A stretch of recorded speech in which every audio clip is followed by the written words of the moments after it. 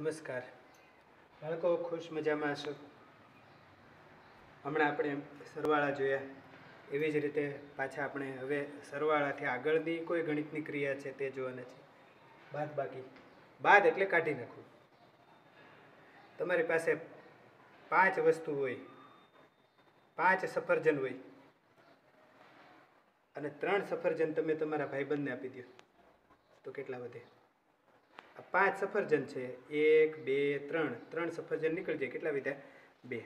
બસ આવા જ પ્રકારની બાદબાકી આપણે અહીંયા શીખવાની છે.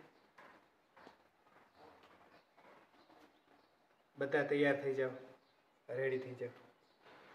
સરવાળા જેવી જ રસપ્રદ રીત છે. મજા આવશે.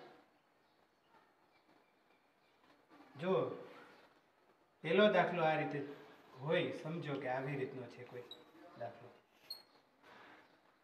જેમ સરવાળાને તમારે જમણી બાજુથી શરૂ કરવાના હોય, તેવી જ રીતે બાદબાકી પણ જમણી બાજુથી જ શરૂ કરવાની.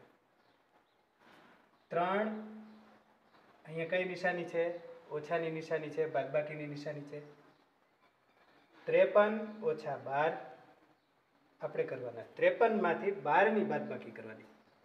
પહેલાં આપણે ત્રણમાંથી બે કાઢશું. જો એક, બે, ત્રણ. ઉપલા ત્રણ છે ગણ્યા, એક, બે ને ત્રણ. ત્રણ ગણ્યા, ત્યાર પછી હવે એમાંથી બે ઊંધા ગણવાના. ત્રણ ગણ્યા તો હવે બે અહીંથી ઊંધા ગણવાના. એક, બે. ઊંધા ગણ્યા તો વિધા કેટલા તો કે એક વિધો. હવે છેલ્લે જે વિધા એ એક વિધો, તે એક અહીંયા લખવાનો. હવે આવ્યા પાંચ. આ બાજુનો વારો. પાંચ એટલે કે એક, બે, ત્રણ, ચાર ને પાંચ. પાંચમાંથી એક ઊંધો ગણો એટલે એક. આવું કેટલા વધ્યા તો કે એક, બે, ત્રણ, ચાર. ચાર થયા. એ ચાર અહીંયા લખો. એટલે કે ત્રેપનમાંથી બાર બાદ કરતા એકતાલીસ વધે.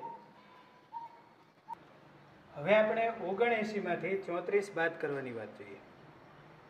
નવમાંથી પહેલા ચાર બાદ કરવાના. જો સાતમાંથી ત્રણ બાદ નહીં કરવાના એકમમાંથી જમણો હાથ છે એ બાજુથી જ રકમ બાદ કરવાની. નવમાંથી ચાર એટલે એક, બે, ત્રણ, ચાર, પાંચ, છ, સાત, આઠ, નવ. હવે એમાં ચાર બાદ કરો એટલે એક, બે, ત્રણ, ચાર. ચાર ઊંધા ગણવાના. પહેલાં આપણે એક, બે, ત્રણ, ચાર, પાંચ, છ, સાત, આઠ, નવ ગણ્યા. હવે ચાર ઊંધા એટલે કે એક, બે, ત્રણ, ચાર. ચાર ગણ્યા. હવે કેટલા વિધા તો કે એક, બે, ત્રણ, ચાર ને પાંચ.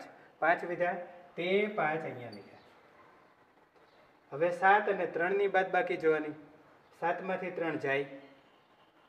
પહેલાં જોઈએ. સાત એટલે એક, બે, ત્રણ, ચાર, પાંચ, છ, સાત. સાત છે, એમાંથી ત્રણ ઊંધા ગણો. એટલે એક, બે, ત્રણ. હવે કેટલા વધ્યા? તો કે એક, બે, ત્રણ, ચાર. ચાર થયા. એટલે ઓગણએંશીમાંથી ચોત્રીસ જાય તો પિસ્તાલીસ